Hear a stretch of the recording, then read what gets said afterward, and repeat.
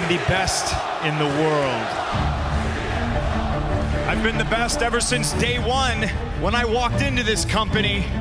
I don't drink, I don't smoke, I don't do drugs. My addiction is wrestling.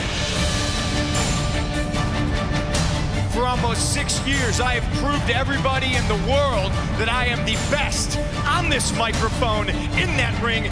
Nobody can touch me. I ah!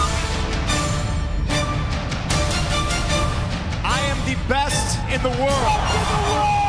My name is CM Punk. Come, my people, and shut thy doors about thee. A familiar force shall arrive to claim what is his.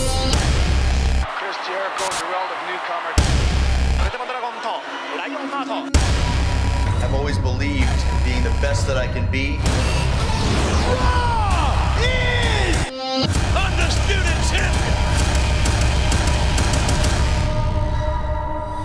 The end of the world as you know it has arrived.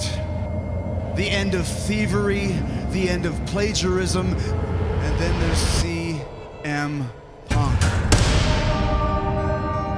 You claim to be the best in the world, but we know that's not true, is it? At WrestleMania, I'm going to become the new WWE champion. And I'm going to expose you for the fraud that you are once and for all. I've already exposed the deep, dirty secrets about your dysfunctional family. Your father is an alcoholic. Alcohol is in your blood, punk. And your sister? Well, she's got problems with substance abuse, doesn't she? It's in your genes. Your parents' wedding date took place after your birth date. That makes you the legal definition of a bastard. See, I'm not off limits. I understand that. But my family, as far as I'm concerned, is. Chris Jericho can call me whatever he wants. I am not a bastard. I am the best wrestler in the world.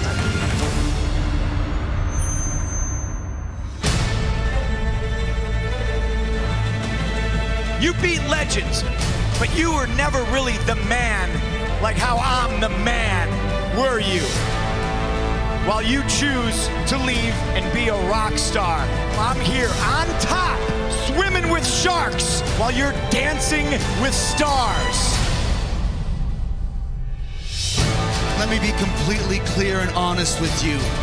I came back to the WWE for one reason only. To beat you for that title at WrestleMania and shove down your throat that I am the best in the world at what I do.